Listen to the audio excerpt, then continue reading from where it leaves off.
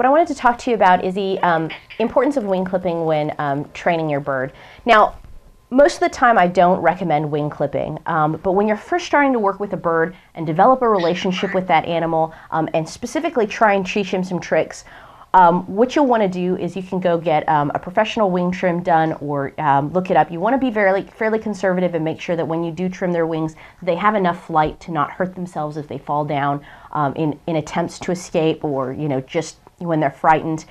The reason is that most of these birds, if they've decided that they're tired of a session or um, you want to work with them in other places, you're going to spend a lot of time chasing them down when they decide that, you know, your sister in the other room or, you know, something out the window is more interesting than your training session.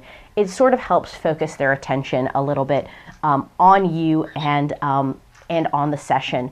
Um, after that, go ahead and let their wings grow out. It can teach them, um, you know, then you can start uh, worrying about more advanced behaviors such as flying towards you and that sort of thing. But in the beginning, I do find that it is a little bit easier to train a bird if you trim their wings beforehand. Um, some birds, if you've got a bird like Missy Bird, you don't need to trim their wings at all.